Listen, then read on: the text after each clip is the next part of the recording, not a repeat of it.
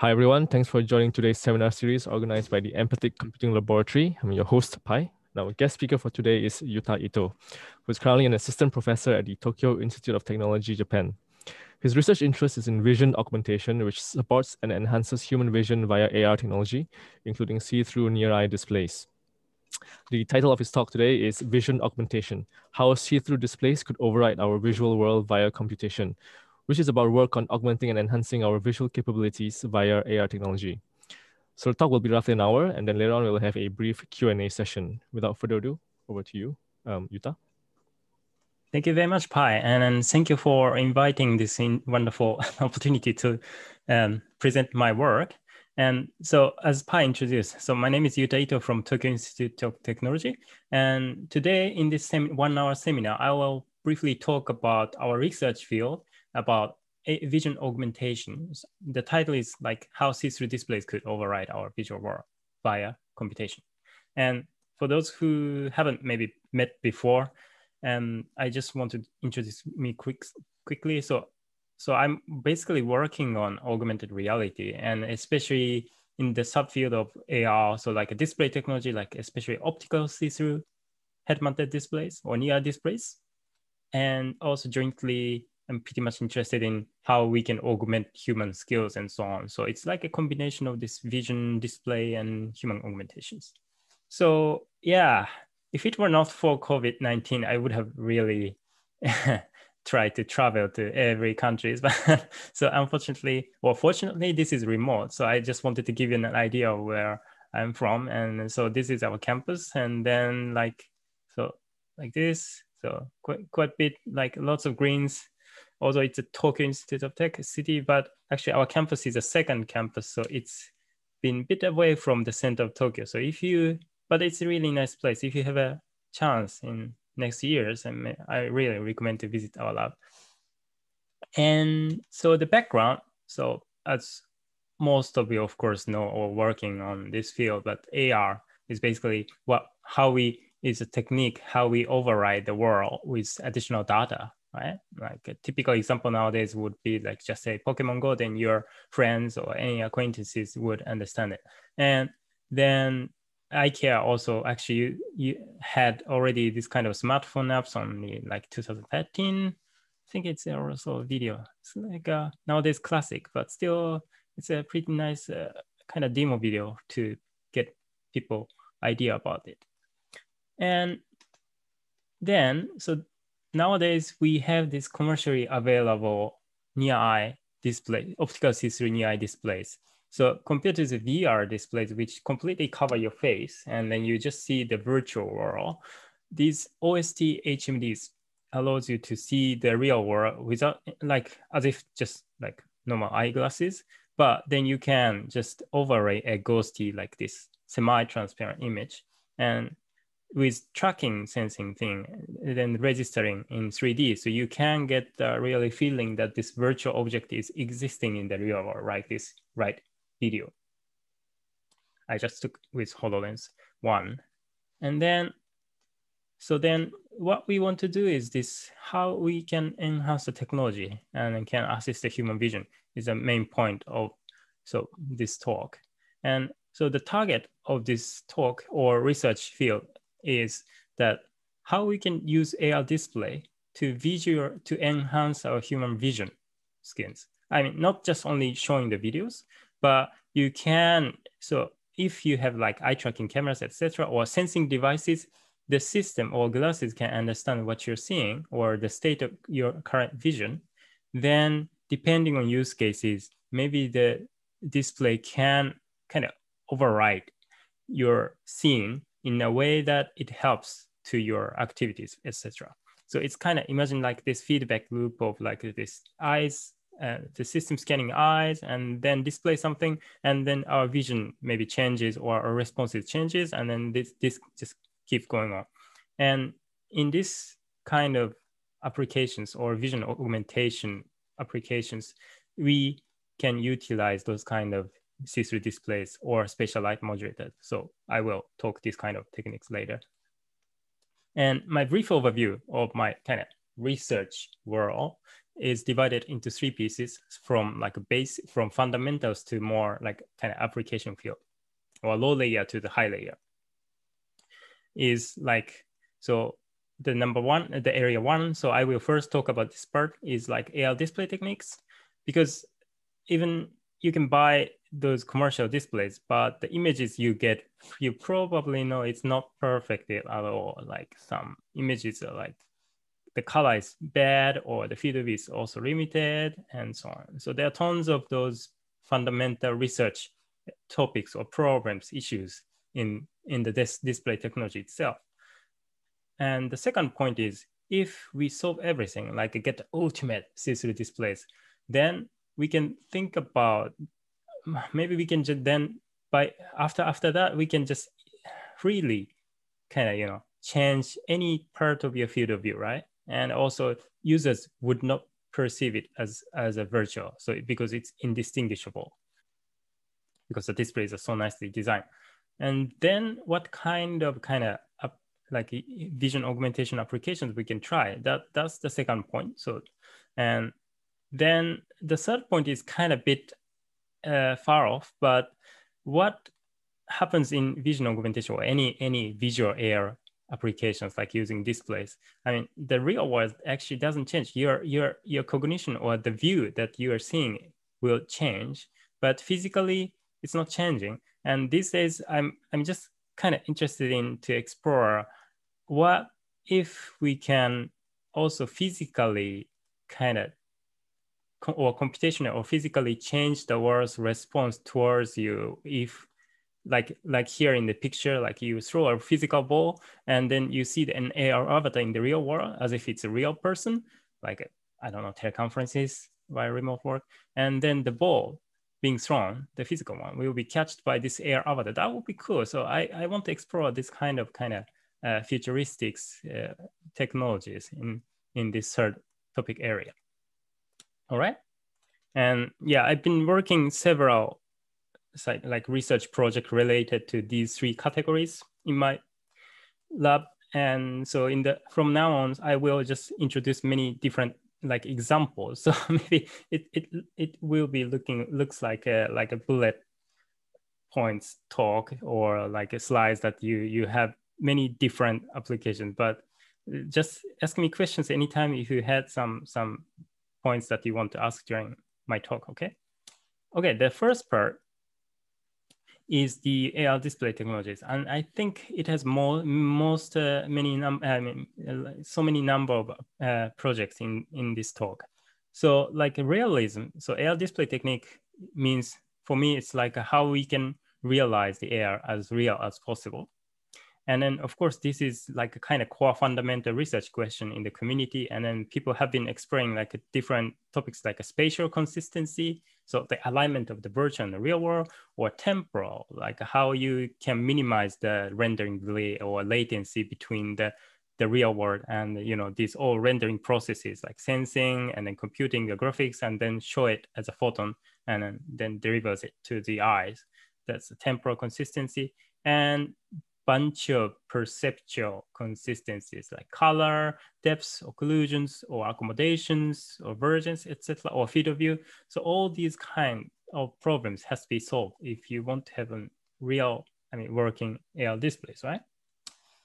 And yeah, maybe I just skip these slides. I mean, we have now many different commercial applications and many of them have like pros and cons and you don't have any perfect ones, right? And so as you have seen, like spatial realism is kind of key, one of the most important key for AR experiences in STH STHMDs.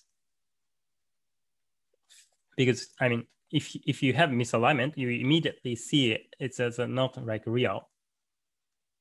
And these days, actually, like alignment is getting really better, especially like those commercial HMDs with tracking technique sensors like HoloLens, I think it's quite uh, consistent.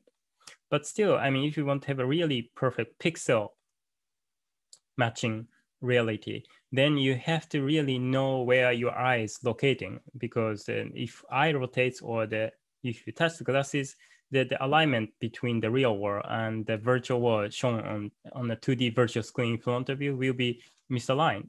So this has been an issue and a very early work of my research career. We I, I just worked on this kind of like a, you know, um, aligning everything automatically by tracking eye positions, etc. That was kind of fun project. And then that one was kind of being enhanced by the following research that that I worked with Alex in Otago U now, he's now, and that that we measured so tracking what's what's reflected on the eye because that's the, the direct information of this alignment, right? And then we basically captured what's shown on what's what's reflected on the eye surface cornea and then reconstructed the 3D position of the eye and then relationships. And then we were able to kind of compute the perspective matrix, projection matrix of this 3D rendering. And then I think two years ago, we also and we also just worked hard on like how we can solve like uh, lens distortion or optics distortions because near displays are like eyeglasses and it has optics, right? Lenses and some some magic mirrors or half mirrors to combine virtual images into the reality. And some displays they have uh, kind of distortions and then the distortion pattern changes depending on where your eye is. So it's more like more or less like a camera calibration in computer vision, where your sensor and your lens is not firmly fixed on your your sensors, but the, the, the bodies, but the, the lens is just moving around. So so whenever your eye is moving or rotating, and we needed to compensate that and then estimate the distortion pattern of the display. And this is very complex nonlinear problem. So we just tried a, I mean, neural network. It was uh, kind of, you know, hyped. So we just explored that kind of uh, new technique. and other example uh, problem is this optical occlusion. Right? it's like a ghost. I mean, original like AR techniques like Pepper's ghost. So they were always ghosty. And of course, there are techniques like I think most known one is Kiyoshi's work that occlusion capable displays, where you basically insert a liquid crystal display, trans, transparent display, which can you can just turn on black pixel and transparent pixel on and off. Then you can cut off a part of the real world light coming through, coming towards your eye, right? And then but the, back then i mean the implementation was quite bulky so we wanted to make it kind of simpler and then one work was this one like you just directly attach the occlusion mask in front of your glasses which actually um, causes some blur because the mask is just too close to your eyes and then the shadow created by the mask will be kind of breaching around the object but uh, we com- we combined by showing the, okay, I, I just showed the video. Um, here, so, you know, this is what happens if you just render AR image on the display and then just real world gets, I mean, uh, so the background is a real background taken by a see-through, taken by a user, user viewpoint camera. And then image is just semi-transparent. And if you just show the mask so imagine you have a shutter, I mean, you have a, just this liquid crystal displays in front of the see-through display. So you just display a mask image. You can kind of partially cut the light of the background, but the mask is too close to your eyes. Actually, that's why Kiyoshi's the original work, he had to have the relay optics. It's a super bulky one. But the, if you just directly attach the LCD mask in front of your eyes, you can still, you, you can kind of cut part of it, but it's not perfect because the shadow appears blurry. So because of your aperture, so it's like a defocused. And we know how much the LCD mask will be defocused on your eye. So we expanded the mask so that even if you defocus the, even if the mask is defocused, seen as defocused, you can still cover the entire image. But now the shadow is kind of bleaching. It's kind of funny impression, see, I mean, see visual appearance that this shadow is kind of you know like absorbing the object some somehow and then we what we did is then we actually rendered oh excuse me. We actually oops. Yeah it's hard to control powerpoints. Yeah see we actually just render the background real scene overlaid on the real on, on the see-through displays. So you you just kind of visually enhance the shot the darker scene, which is basically kind of darkened by this half covered defocused LCD mask so that you can oops, compensate that shadow mask. And we also did some color corrections of the background, the, the real camera, etc.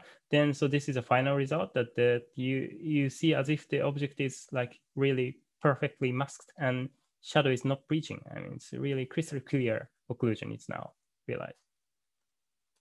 Um, so this is kind, kind of, you know, it's occlusion work. I mean, it's a optical see-through occlusion capable display technique. But then this kind of, you know, modifying the real world color will be actually then followed to our vision augmentation application. We will talk that later. But anyways, so here, then the next challenge we were thinking about, okay, so what about then the defocus? I mean, accommodations, because any shadow, I mean, like you saw in the picture, so that the mask was defocused because the, the position of the mask was not being focused by the eye. And back then, I think we we now we were getting see-through displays which can have a like a varifocal capability. That means, I mean, you can optically render an image in front of like close to your eyes or far from your eyes. So the image plane can can shift towards your depth direction, right? But then if the optical virtual see-through image moves along the, the view axis, I mean the depth axis, then the shadow mask also, the occlusion mask also needs to be moved optically back and forth because object is here and the mask is rendered optically at this depth, then it doesn't match, right? It's like a, a kind of accommodation conflict. And then we wanted, we resolved that issue by kind of using some mechanical linear stage that can uh, move the LCD mask back and forth in a relay lens system, which means actually, so if the LCD is at the center, which means that the shadow appears at the infinite distance. And then if the, the, the LCD, LCD panel shifts slightly towards your eyes is within this relay lens system, the shadow appears, gets closer to your eyes. And this time, of course, we didn't uh, mind about the the size or bulkiness. I mean, so I we wouldn't call it yeah this place. It's just a benchtop system. But then, so here the result we got was like this. So now you see the screw is rendered quite close to your eyes, and the background of the the just like a, a far far scene is completely blurred. And this camera, we change the focus from far from so now the camera is just focusing far distance. So you see the building there, maybe some, some hundreds meters away. And then the image is sharp and the mask is also appears sharp. And then now the camera just, oh, sorry. And then now the camera just focus a bit closer to the eyes. And then the, the mask also is reconfigured so that it appears sharp again and so on. Yeah, see. And then, yeah, so it's kind of interesting sensation that the, the mask is following your eye focus. Right, maybe I just skip the detail because we don't, I think we will run out of time otherwise. So then, so I was just thinking, okay, hmm, just hiding, just cutting light from the background. Then at one point we just came to this idea that can we just create an see-through image by just utilizing the background white light like stained glasses right? If you go to churches then you you sometimes have this you know colorful like artworks that made out of those stained glasses. And then if the sunlight shines and then you have a vivid color on on the window right and that kind of like images. So we, we got this idea because another problem of near eye display is that if you go outside, because of the sunlight, you can't really see it, right? Like it's pretty much like you have a smartphone and you just go outside and then you don't see it. And that's that's why we created a kind of we we thought about this idea. Hmm, instead of just adding light like near eye displays in the light left hand side, can we create light by color images by subtracting lights? And these are kind of complementary because uh, subtraction means like you can't see any images when the scene is dark, whereas the near displays, you can see image clearly if the room is completely dark and so on. So it's quite complementary. And so we use the technique, uh, physical phenomena cause like uh, cause polarized interference colors, which means if you if the, your light source is polarized, so and then you have kind of transparent plastic or polymer thing in between, and then the light can interfere each other in different wavelengths and so on. And then you actually observe this kind of color. You probably have seen this kind of like a rainbowish image on a, like a like this kind of system, or if you have a like a oil on the water surface, and then you see this like you know rainbowish color. It's because of this effect. And then luckily we had a device, uh, which a liquid crystal display devices, which can control this kind of polarization pixel by pixel. So I mean, liquid crystal display, essentially it's a physical device. Each pixel can manipulate the state of light in terms of polarization. And so we just kind of created a benchtop device which works as, as if like this previous like uh, image, uh, the video, that each pixel actually can show different colors by subtracting, by works as a color filter on the bottom, this color chart, it's it's actual just example. What happens if you set the this the LCD color LCD intensity like a, a 8-bit input from 0 to 255 and then you have this polarization light system and then you see each pixel creates different color right and then as as i said so like if we want to see bright image when the scene is completely bright so we had the like strong photo studio light in the background. And on top of the studio light, of course, ordinarily displays, you can't see anything because it's completely overexposed. I mean, brush up. Uh, but our system can render vivid image. And here is the video of the system actually working, although we didn't turn on the light. But you see on the white background, you see this kind of, oh, it's a bit defocused. Here you go, like this image shown on the on the background and nothing, no lights, no, no power needed. I mean, no light power is needed. You don't need any light sources. You just need a background. Then you see an image. And then last year, uh, we kind of enhanced the system because the color of the previous video was kind of not perfect or good. So used to, we used to have that kind of before image.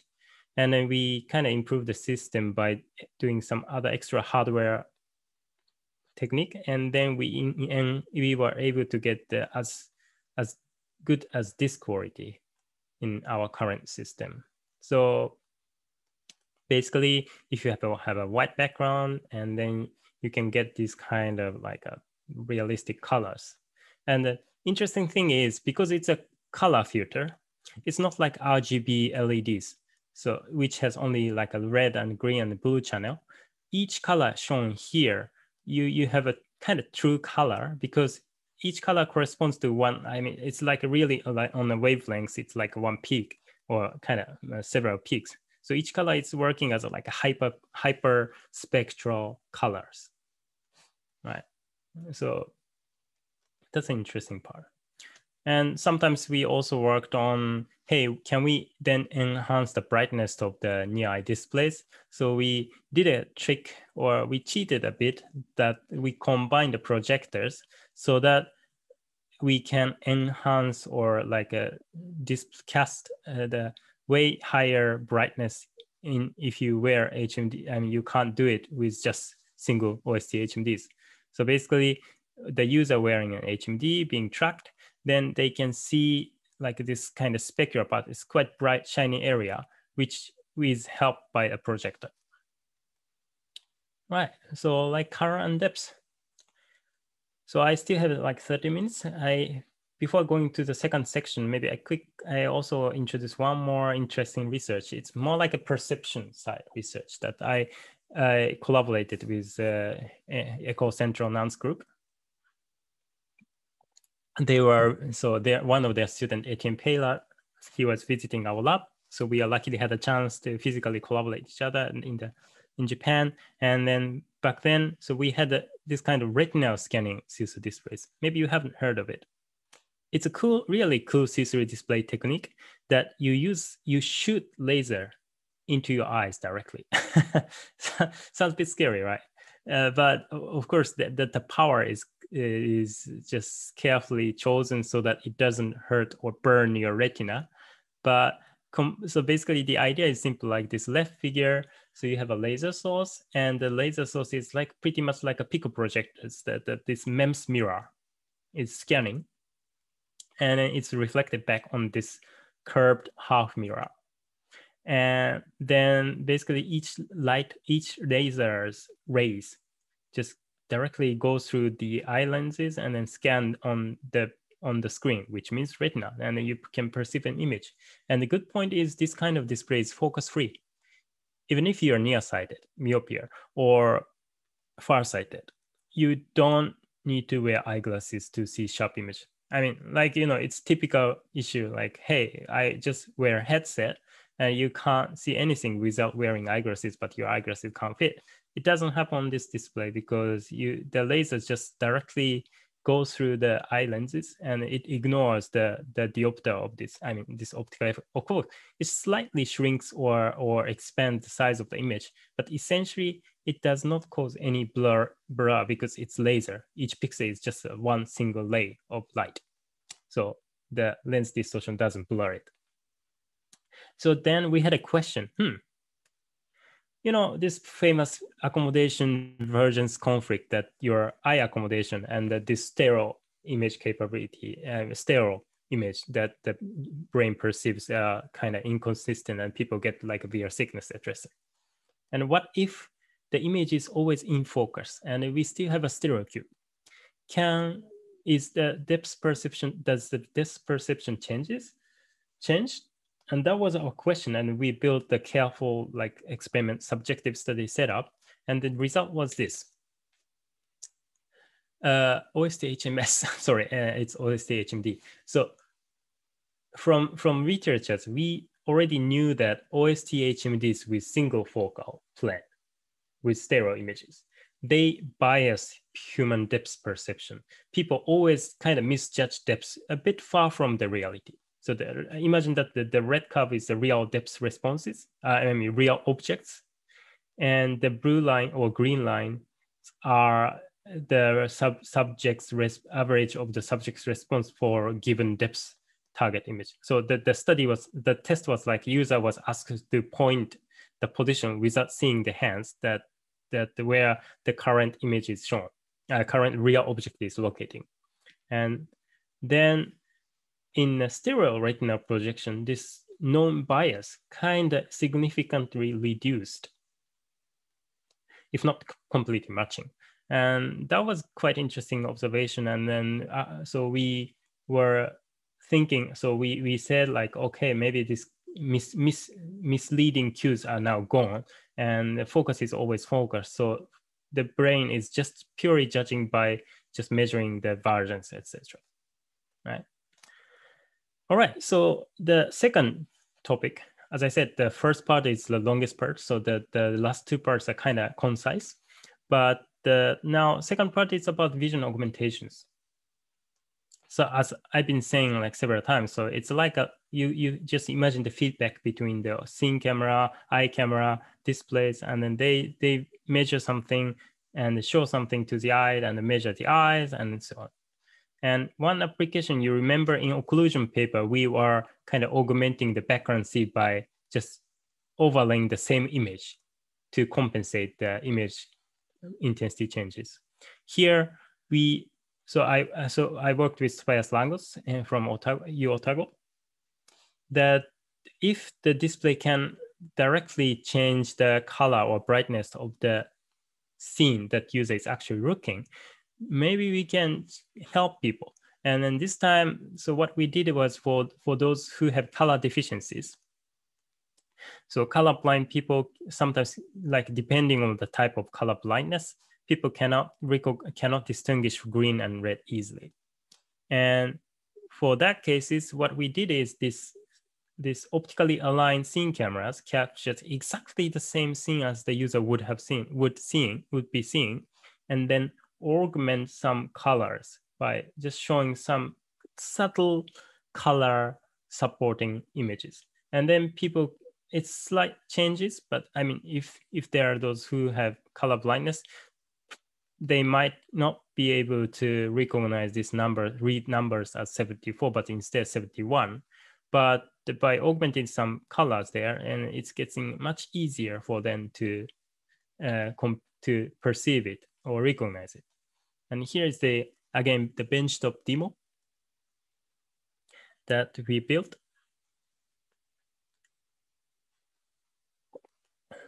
Again, so eye position is important to get the perfect alignment, see? But again, if everything is perfectly calibrated, this is what we would see, that these numbers are nicely, this red area is nicely augmented.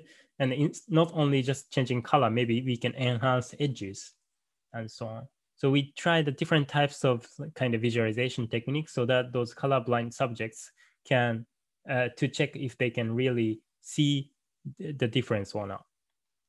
And also important thing is this time we manually allow, uh, allow the subjects to manually adjust the color filter parameters because even if you have a kind of color blindness, the pattern is different. And the ideal case, of course, using your eye camera and then eye camera analyzes your eye and then see, okay, I, we measured your fundus, the retina. So the color RGB pixel ratio is blah, blah, blah. So we adjusted the parameter, but of course we didn't have that technique yet. But assuming that everything is done, so this time we let the users manually change something, then then this efficiency of this kind of optimization got improved so that's that's the, basically the concept of vision augmentation. I mean, if we our system can perfectly display something and know everything about the eye, so what we could do.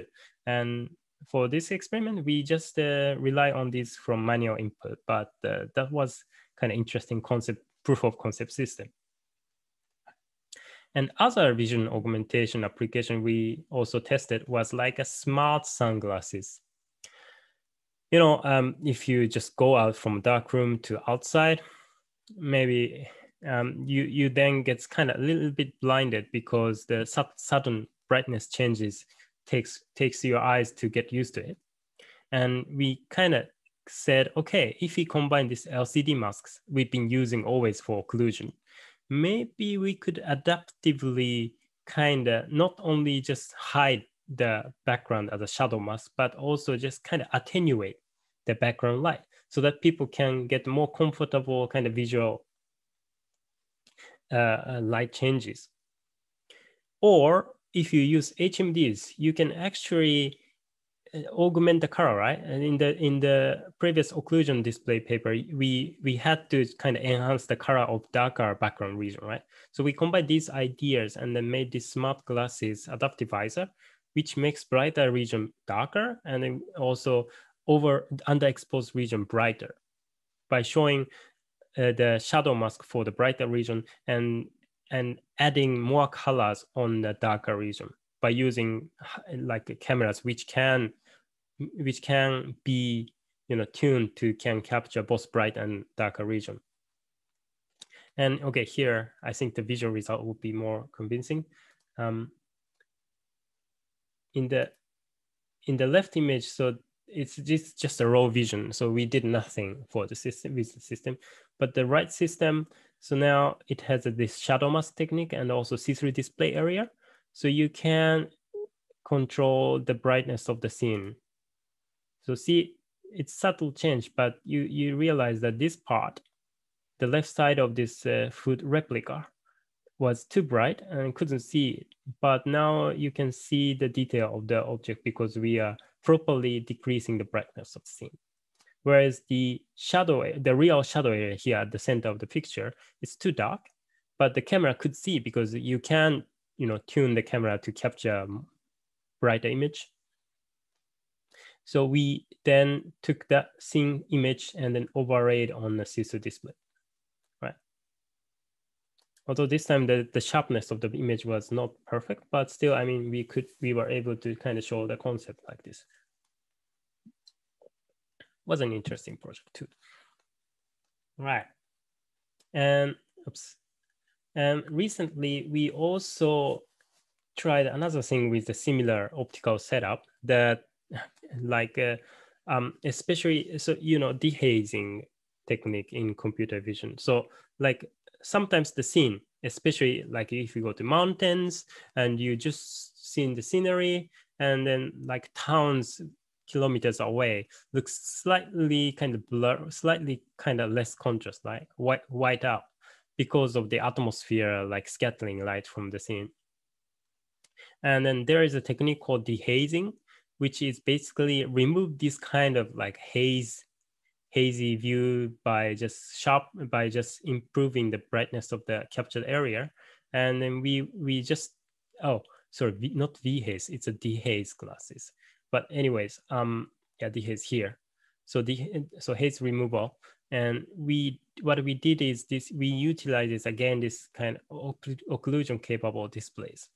And then apply those kind of dehazing uh, uh, image processing technique in the real physical optical light in the background.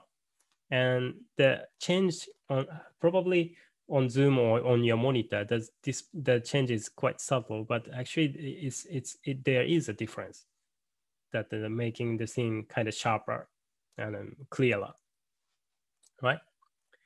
And so these were all like about colors or like brightness of the scene. And we also wanted to kind of explore if we can like enhance the human accommodations or like uh, some nearsighted eyes or far-sighted eyes. Like the ChromaGlasses we showed that for the color blindness people we once had a like edge enhancement right? And edge enhancement means like it reconstruct the detail of the scene. And if you kind of augment the scene in a proper way with the camera, which is focusing at the object, and then maybe a camera which has a better eyesight than your eyes, and then augment the image, you could kind of slightly, you could sharpen your eyes. That was one research work we were doing. And, but this is still like kind of optical or, or like image or display kind of solution that you have to display image directly.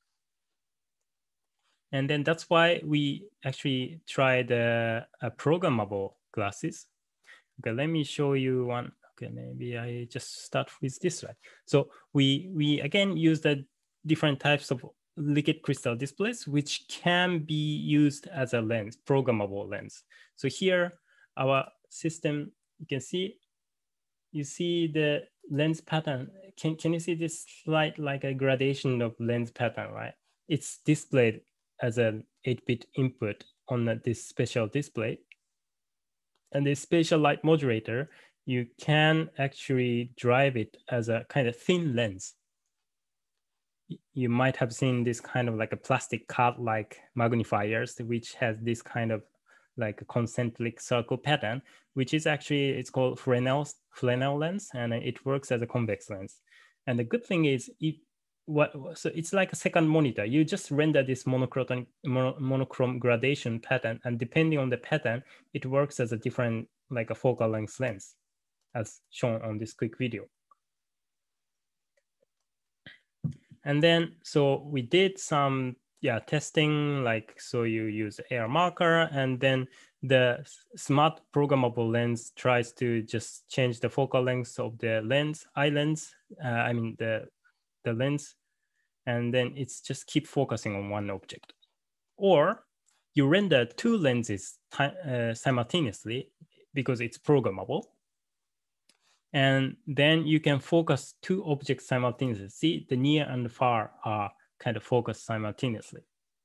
And even more kind of extreme application would be like you can also fun the scene by rendering this kind of striping. So it's like a tilted glasses and it can slightly shift your view X and Y directions. And then you can stabilize the view like on the right video. So even even if the scene is kind of saturating, I mean, like moving uh, side by side, and then you can still kind of see the marker center, even if uh, the same motion. Because the system is viewing the scene and just programmably, uh, just programming the lens in a way to cancel it out. All right. Um, yeah, we also once worked with Jason Orlosky from Osaka U using eye tracking or this kind of all this eye measurement system to help diagnosing some neurodegenerating diseases in a VR headset. So I, I helped the eye tracking part. All right. So the last part of the talk, and also I only have 10 minutes, maybe 15 minutes, maybe I exceed a bit. But so the final thing is, okay, we've been showing, okay, how we make the AR visuals as real as possible. And also the augmenting with this kind of ultimate displays, maybe we can seek for potential applications of augmenting vision for the sake of improving human perception or helps helps them or assist them for some tasks, right? And then we come to the point, okay, even if we change the visual of the world, we also want the world also being changed accordingly what they are seeing. I mean, sounds like it's a bit uh, kind of contradicting, but for example, we once worked on this kind of like uh, another, actually it's a vision augmentation work, I would say. It's a fluorescent vision we call. It's more like a that people being able to pre pre pre I mean uh, uh, predict the world. So it's like a make people pre-code. So like a superhuman vision system. So where so basically the sensing system in the scene uh, tracks a real world object and then the system predict its trajectories and then render it in a see-through manner real time on the on the see-through display. And the demo video will be easier to get the idea. So here was like a, a demo at the eTech SIGGRAPH that we demonstrated this. Yeah, I still remember this. Like we were throwing balls in front of visitors all day, five five or four days long. if you have done real, I mean, like these public demos, it's really kind of hard fun but any, anyway, so so we had this kind of system, and we consider this as a technique that add humans to kind of predict the real world skill, right? But again, still, it's nothing to do with the real world. I mean, it doesn't change anything going on in the world, and that's why we explored recently a computational ultrasound force field technique. So I collaborated with people from U University of Tokyo, and they were an expert in controlling this kind of. You see this black tile wall, the nine nine tiles. They consist of hundreds of ultrasound speakers, powerful speakers. And what happens is if you control each speaker uh, of the and also the phase of the speaker, so means like a delay of the sound. Uh, how to say the timing of the sinusoidal pattern in, in delta t wise, you can actuate, actually create a false uh, ultrasound field. All these ultrasound speaker focus, focus at one point in space. And you know, ultrasound speaker, I mean, sound vibrates the air, which is a physical force. So if you control those speakers in a smart way, then focus at one single point of all those hundred of speakers, then the point gives certain some tens of milligrams force in real time, in real space. And so they were an expert in this field. And then, hey, if we have our like this tracking concept, can we actually physically interact with balls in real time? And then we chose a, a ping pong because it's a light object. And then here I think this is a video from them. Yeah, I just borrowed. And then here, see, and now the ball just curved, even though you just hit the ball. I mean, you just throw a ball straight. Again, the system is on, so see, and because what we did is like this, yeah, ultrasound speaker. So you see, this is amount of the force they can create. And yeah, and then basically they made a superhuman sport ping pong game that the people can con- people just have a switch and then whenever they want to do some miracle shot you just press the button and then you can kind of physically um, change the trajectory of ball and this is very interesting work i think because now computation can change the the the way that the real world behaves. And if you imagine we combine our previous AR display technique so you can really just change the trajectory as we want. Like you your AR display shows some some lines and then maybe the physical object will be following because of this kind of technique yeah um then let me show some more kind of uh, physical AR interaction research project we've been doing. So this one is not real physical interaction, but we were thinking, hey, drones are a bit scary. Maybe they Amazon drones, maybe you know, flying around the world in in the in the near future, or like auto, automated cars, they are driving near everywhere in your town. And then once we get that kind of like a remote autonomous robot systems or, or, or moving systems are like a normal technique. And then maybe people bit feel might feel a bit uncomfortable or they want to like they do not want to see this kind of robots just moving around your wall because I mean it, sometimes maybe it's a bit annoying. And then we were th thinking, hey, can AR or like visually augmenting or hide those objects can help people to change the way they feel those kind of objects. And then what we did was this drone camera technique. So we wanted to just kind of moderate the comfort level of people against this kind of autonomous robots. And then, so here, and it worked, of course. I mean, when you show this kind of nice unicorn character, although the sound is annoying, uh, their acceptance level has been kind of improved. Whereas, yeah, so the bee or hornet, yeah, it's a hornet. I think the sound matches, isn't it? the sound and the visual effect was really, really, really, really changes the way you see this drone. I mean, even if as as implement. I mean, even if for us who implemented system, we wear it and try it in a real, I mean, with the real system, it really kind of felt a bit scary. I mean, maybe from the video you don't feel this, but wearing HMD and seeing it is completely different experience, and that was very interesting uh, project.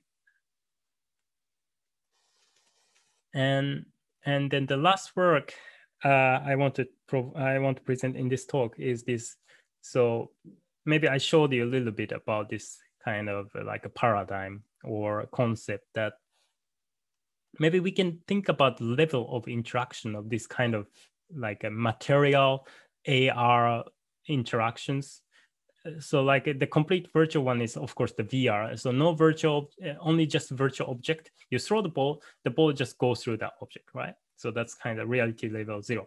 And like that ways, and maybe you add more actuators and then you throw a real object. Oh, sorry. The level zero is you throw a virtual ball in the VR space. You, so you just, you know, throw a ball, you do this motion and your visual scene, you see a virtual ball is just flying somewhere, right? Or you can physically throw a ball and then maybe avatar can catch it or human just assist it and then the ultimate like reality level would be just you throw the real ball and the real person take it right? So there's like like this Milgram's continuum. So like i think material and ar interaction also have this kind of like a kind of spectrum. And then we were we are currently exploring that doing some user studies. And hopefully potentially we install this kind of robot arm in the future and maybe this diminish it and then we completely just implement AR system that can physically catch the ball. Okay, I'm just going to wrap up my talk. Uh, oops, I think I forgot to change. Oh yeah, here is the English version of it. So the future prospects. Yeah. So what shall we do in the future for the future? I mean, like we've been doing these AR things and now all this COVID mess came or COVID 019 sounds, sounds more scary than just 19. um, let's say so now i think the society has been has changed and i think many other speakers might have also noted this point that our like you know the, the world is kind of getting used to this situation but it's i think the way we live in the near future would definitely being be different from our our past life right? And i'm just working on ar and also human augmentations. And from that point of view, I was just thinking, hmm, what kind, what kind of like uh, help? I'm how my my expertise can help these kind of situations. And then this is more like a blueprint, or just I'm just talking about my just thought. But this technique, if you think about from this kind of aspect, it's how other people recognize. It. I mean, it can change how other people recognize you, right? Especially like VR I don't know outside of Japan, but now in Japan, I think virtual avatar is quite hot, especially for those like uh, like manga, anime communities, and there are like a virtual v, virtual YouTubers we call VTubers, like using just Oculus or and use those kawaii characters, anime character like thing. Maybe inside then it's just like like some some male adults inside. That's often the case but there are many those kind of like uh, virtual avatars which basically change the way people see you. And you don't need to feel like about uh, your appearance right? You don't need to care how people i mean you can easily change your appearance. So maybe the physical yourself maybe it's it's less important than before because you can easily disguise how you've been looking, right? That's one aspect of this kind of VR AR technique. And you can also change how you see the world using those vision augmentation techniques, right? Maybe change the color, just change the color, or maybe you diminish something you don't want to see it. But there are like these two directions. That's that's my what I see on these kind of techniques. Or if you physically augment, I mean, human augmentation skill, you can advance your skills so that you can do something that you would have not been able to do without such techniques right?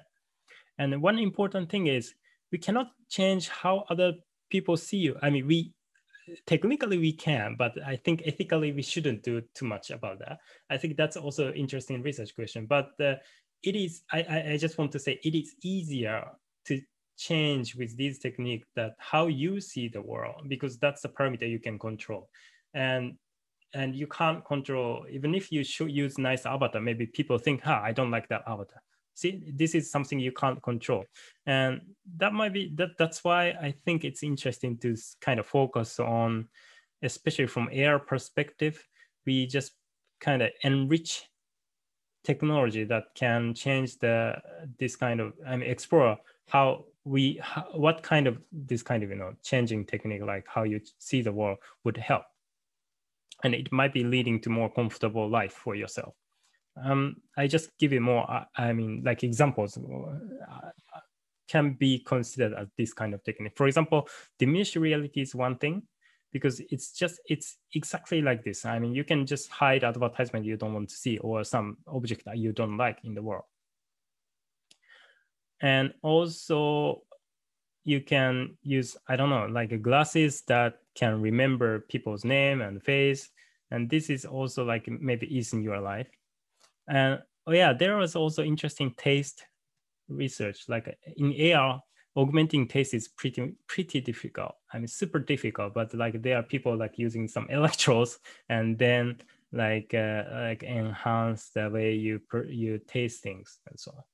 Or you feel like you are a professional pianist just wearing this kind of uh, actuated gears and then you can your hands play piano and you feel kind of happy with that right?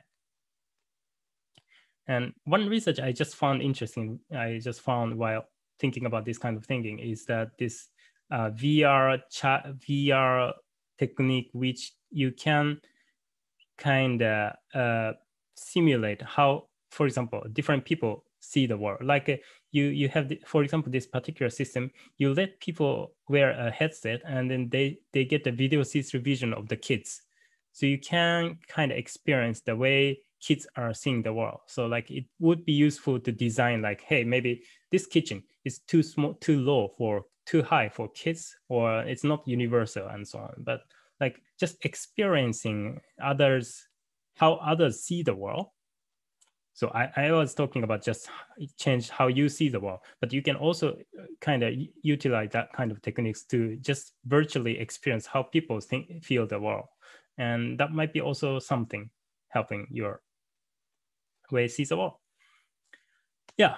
Okay. So let's let me wrap up. So my research project, therefore, um, I will keep continuing on explore technology transform this kind of like a reality and also potentially kind of and kind of try to find out how to breach this kind of AR world with the this material world by using computations. Yeah, and therefore, yeah, also display technology is quite diff. Still, it's not perfect yet, uh, but I think one key research area I feel is like holography, because holography is the only way, or is one of the true ways to recreate the real world light field. And I think it has a huge potential. And people, like if you see graphics communities, there have been many holographic near displays in these years. And I think it will be a trend in, in the near future, right? All right, so let me summarize my talk. So towards vision augmentation, and so you need, I think, two things that that you have to augment image successfully in your vision perfectly, indistinguishably, and then uh, we need also need to control the light coming from the real world to modulate the human vision. And why we do this? Because it has lots of lots of potential application that help our our like life and then techniques and then and it's quite fun area. It's like a mixture of like a physical and then image and light. This is very um, much like a diverse area. You need lots of help from different people. And so therefore, I also want to thank for all collaborators though, in, in domestic and international collaborators have been working and also students in my lab. Yeah, thank you for listening. That's it. Thank you very much for the presentation, Yuta. We are now open to questions. So if there are any, please just raise your hands on the um, participant list and I'll call you out. Otherwise, you could just type it down on the um, chat and I'll also read out the questions. So does does anyone? I see a lot of virtual claps, but is there anyone raising their hands for for a question? Otherwise, maybe I'll start with the first question first. Um, so you presented sure. a lot of projects and that's really amazing. So I suppose I'll just try to ask some of these projects a little bit more detail. Um, one of the earlier ones sure. you showed was about the occlusion capable HMD, where you just you showed about rendering the teapot and how to make it look more clear um, uh, without the see-through of the right. teapot. Yeah, something like this. And you said that one of the solutions that you use was to render the background um, behind it as well, so it looks more clear. Um, so I, I understand that if you're going to test this, is probably you probably had the camera on a static position, like fixed so that the background will not have any tracking issues. So did, did right. you manage to test this on like a mobile HMD or a mobile camera or mounted on the head? Or is that like a key limitation that you're still working on or is that been solved? Any anything you could share with that? Right, right. I think that's a great point. Uh, uh you might have been our reviewers. yeah, you you need exact the same scene camera is the key for for this kind of technique because if the image you capture the world is slightly distorted, and then you have to compensate it. Technically, you can you can undistort the image in a way that the image captured at a different position will be looking similar to the eye position. So see here is the scene camera, and you have the half mirror here, and the HMD is actually behind this LCD, and another iPod, another user perspective camera is behind it. So that means actually this camera is positioned optically at the symmetric position of the eye position. Yeah, therefore, they, th that's that's why we need this nice alignment. Mm -hmm. Great, um, thanks for that. Uh, is there is there any more questions from? Oh, okay, we have one from Suranga.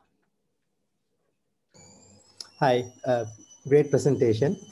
I have a, a, question uh, related to your slide 71. You showed several uh, potential application scenarios that are foreseeable in the near future. I was curious whether you had some underlying principles when you were thinking about potential applications of some of your technologies. Could you talk about the, the underlying principles when you think of uh, the usage of, of uh, you know, your technologies or what drives you to, to develop these certain techniques? Right, right. Um, so basically, I understood the question as how we get the ideas of this kind of applications on vision vision augmentation applications. By the way, so on these slides, most uh, all the works are all these like not our groups, but just I took all from other people's group to inspire, ex, ex, to inflate our thoughts and ideas. But for the previous applications that we've been showing in our talk, um, so on the vision augmentation applications. So we are basically thinking about the limit. So we usually have this thinking, way, way, our way of thinking is this way. Um, yeah, I mean, like human beings has limitations, right? And and then there are some like, and then we start with these limitations, and then thinking about usually think about then what capability would help, or for example, this color deficiency. It it was kind of clear example that they need help. And it's it's caused by this human capabilities limitation that they cannot see the color. And then we just hit that point. Or the dehaze one was like we had once like hazy day and then hey we wanted maybe it's it would be nice if we can get the image the scene sharper maybe if you climb mountains and then you have a clear vision that would be nice So it's sometimes spontaneous, sometimes focused, but I think that's the way research will be going. I hope this is answering to your question. Okay, so uh, yeah, just a just a quick follow up. So sure. I, I, I get the point. Uh, basically, the the requirement come from that particular scenario. That's that's great. I was also curious if you if you impose in your vision of augmented vision do you impose other constraints when you think of a solution right? Now the problem is clear. When you think of the solution do you impose constraints as part of your your vision on on augmented vision? Like uh, constraints. the, uh, just to clarify so is it about just solving the problem somehow or you have specific considerations because of the the the, the way you think of how the the augmented vision should look like? Oh, uh, that's that's very good question. I actually, to be honest, I haven't thought about that much. Sometimes we have these interesting use cases, and I mean, I think constraints would be like if it's uh, maybe maybe this thing. Um, sometimes this display technology, I mean, like implementations has to be realistic that's sometimes we con- do consider. Although we always say, okay, display technique, I mean, we always have like this kind of benchtop systems that's totally not wearable. But like these cases, we did consider how could we could we really realize it, miniaturize it as as it is usable for users. Yeah. But often that thinking fails because we can't really implement small system. Thank you so much. Great. Um, do we have any more questions from anyone? Yes, we have one from Moritz. Yeah, hi. Uh, thank you, Yuta, for this awesome talk. Very interesting. Um, sounds really interesting new techniques you propose. I can't wait for, for it getting deployed so I can for human skills or uh, apply some filter which makes my world just look more nicer to me. uh, yeah. I was curious, um, you talked about a lot of techniques, and I was wondering whether you asked yourself the question whether, if applied in real worlds, um, you would always want to um, have this feature turned on, like, mm. for example, helping, yeah, switching between the augmented and the real view and I was wondering, I mean, maybe there's already a, a work existing on this, um, whether you thought about techniques to transition from one to the other, um, which hmm. which which helps the user to to switch between these states, I would say, the, the augmented world and the other, mm -hmm. or mm-hmm. whether there are clever ways of transition between them. Yeah, Moritz, I, I love the question. I think we should work together on that topic even. Um, it's it's really interesting question because how we turn on this feature for particular use cases, right? And it's definitely like the system needs to understand the context. And I think that's the less explored field. Like if you have this kind of smart AR devices, and then when we just turn it on, I mean, does user always needs to just you know oh, okay i now want to have this feature like a smartphone app you just stop maybe it works it works but it wouldn't be as easy as just you just tap on the smartphone. So that might be very interesting like scene camera just smartly recognize the current situation. Okay you maybe now need a dehaze because the scene is a bit blurry or okay now you are I mean, basically augmenting the, the vision might not be comfortable because you at least you degrade the real view.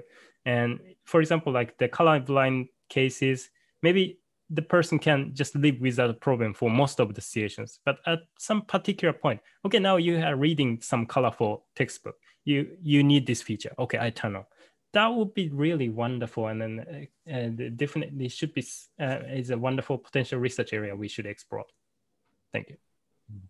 Yeah, thank you. I think that's very interesting. I was thinking of some action the user can do to trigger it. Um, yeah, I like that to also think of some agent which recognizes the context and and um, um, um, switches on or transitions between these views on on demand. Yeah, very interesting.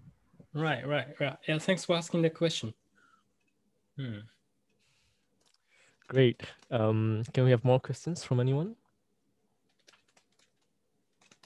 maybe I'll follow up with a question as well. Um, so I'll think a little bit more about this application side as well. So I really like the direction of the third one, which is the reality consistency. When you first spoke about it, I thought about a demo that I saw at SIGGRAPH Asia uh, 2019, I think.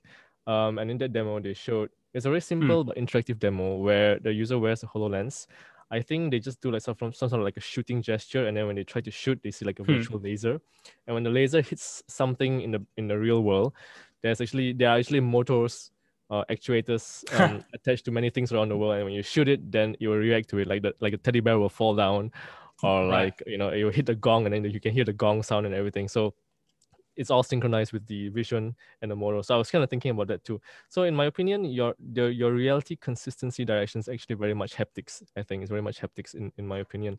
And you showed uh, right. as well the, the the example of using the ultrasound haptics, which which I believe yeah, you could actually just you could buy a simpler version of that, like I think like with the Ultraleap or something.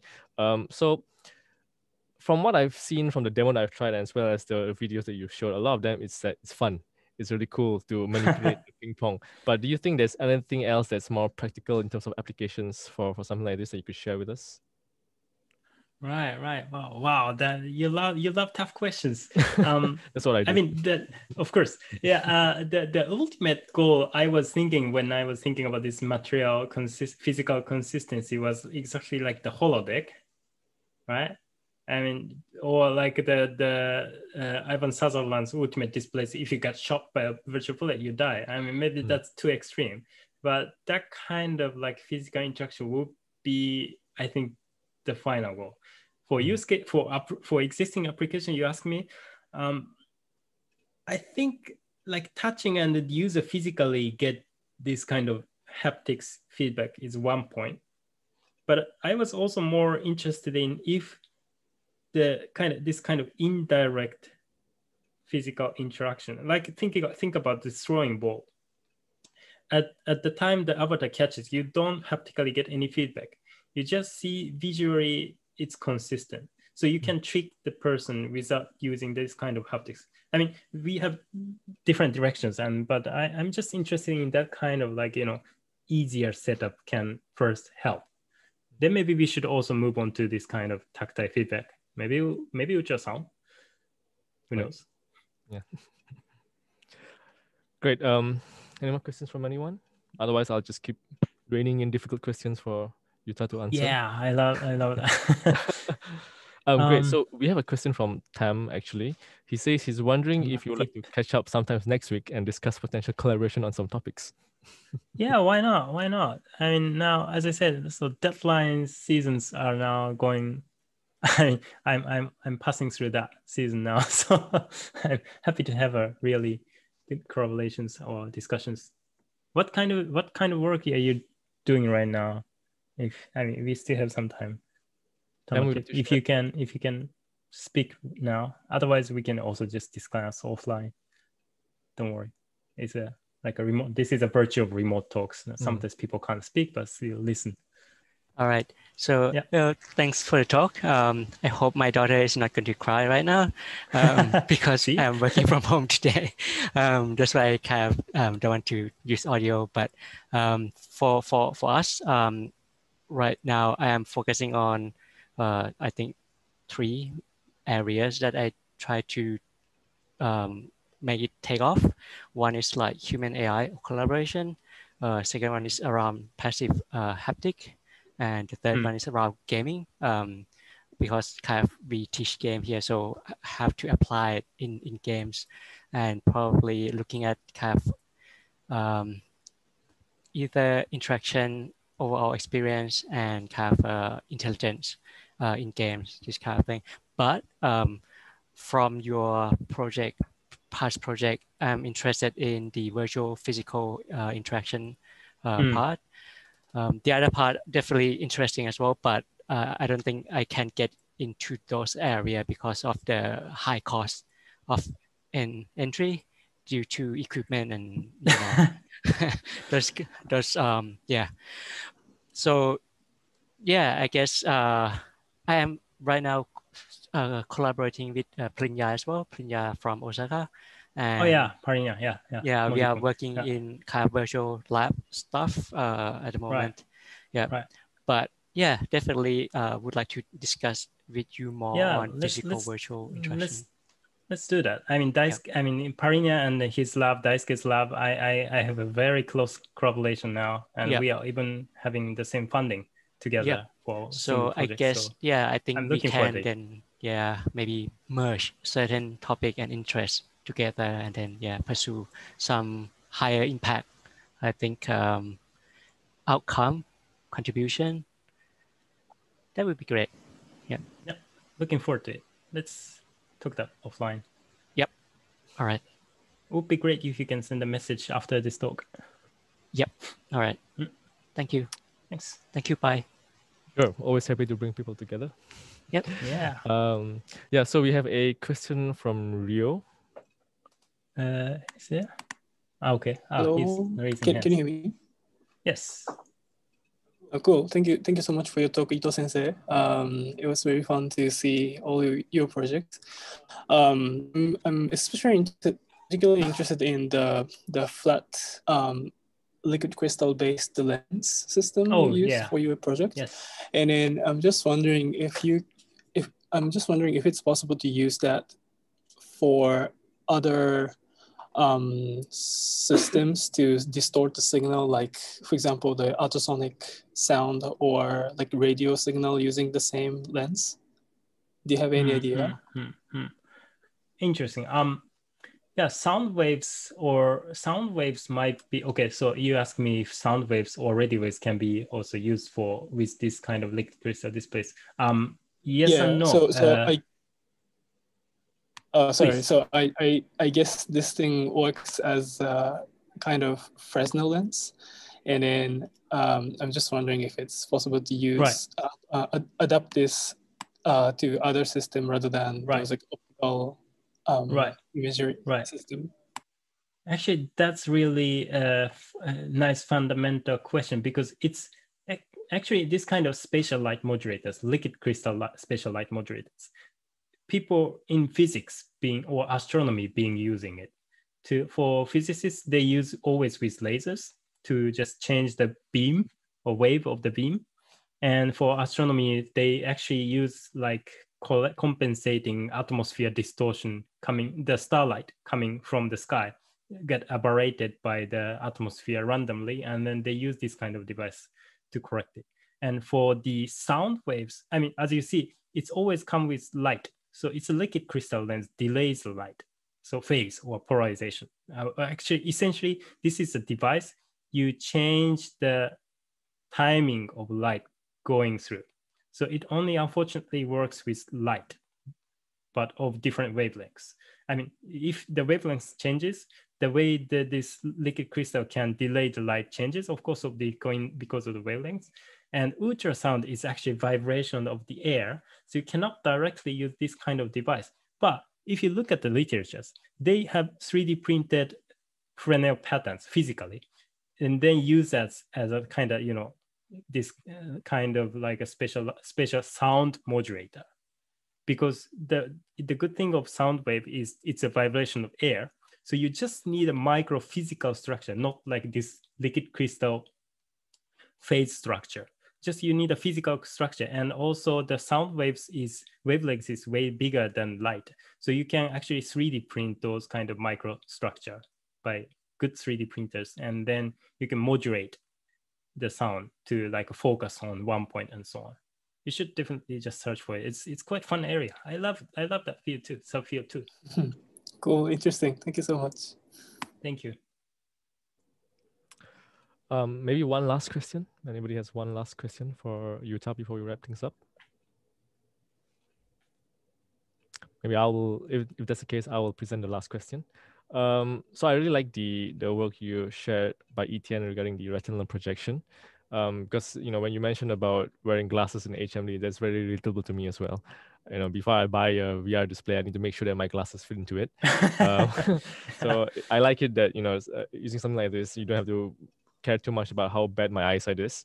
Um, so, well, I have two questions actually. So, why, why, what do you think is the main uh, reason why this is not too mainstream yet for consumer displays? Is it too expensive? Is it not exactly safe enough for consumers or is it too much energy? It's my first question.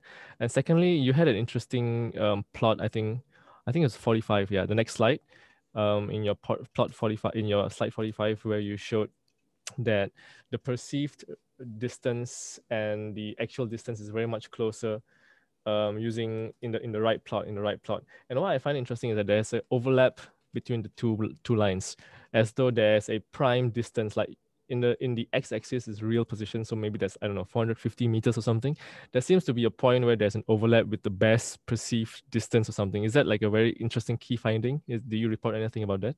So this is just my questions yeah great. Okay so let me answer first question. Uh, so i think I, I mean, retina scanning display been years actually, like uh, especially in the helmet mounted displays in the fighter jets in like uh, like some decades ago, and it wasn't so mainstream. I think it's technically difficult to miniaturize it, but these days they have this really tiny laser modules, and then uh, especially like example is this company QD Laser.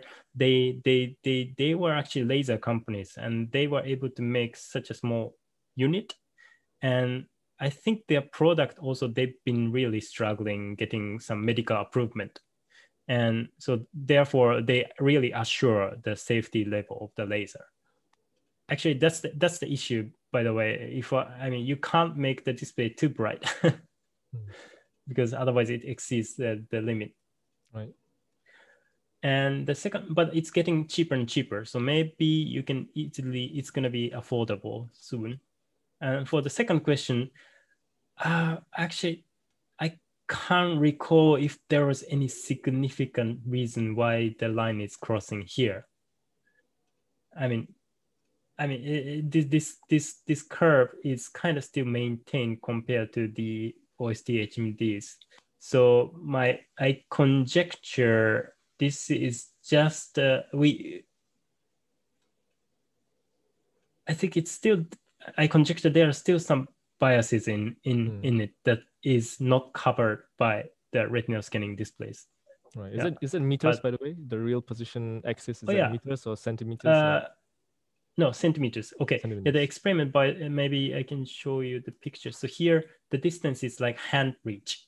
Mm, because right. accommodation doesn't help if it's farther than few meters. It doesn't it it doesn't help. So we only care about this kind of hand reach or relatively close range. And what user actually did is we, we put a target object at certain depths, which is actually, you can slide towards the axis because the magnet is beneath this thing, you don't see it, but you can smoothly slide it towards this viewing axis. And then the hand is also being tracked by OptiTrack, and you have some a ring device with OptiTrack marker, which you users cannot see because you have these white walls, and the users basically point the finger until it matches with their observation of the AR 3D object rendered next to the the the physical object and so on. Yep. Ah, Great. sorry. All I right. mean, oh, you, yeah, you see the real object and then move the finger, or mm. you see the AR object and then you also move the finger. Anyways. Got it. Great. All right. So I think that that should be um, all for this present for this seminar. So thank you once again to Yuta for sharing his work as well as everyone here um, sitting through this one-hour talk to hear um, to hear for the seminar. Um, look, please do look forward to our next one, which will be about two weeks from now, and it'll be announced on the ECL Facebook page. So thank you once again to everyone. Have a great day. See you. Thank you, Pi. Bye. Yeah. Um, if you yeah. guys, if anybody wants to talk after this talk, I can stay a little bit longer here. I mean, if nobody has a next meeting. Sounds good. I, I think if I leave, um, you would still be here if I'm not mistaken. So feel free to continue the um, sure. conversation. Yeah. All right. I mean, if everyone leaves, I also leave. so. Right, of course. or if there's any other questions that you want me to link with Yuta, I'll be happy to do so as well. Right. All right. Thank you, everyone. Bye. Thank you.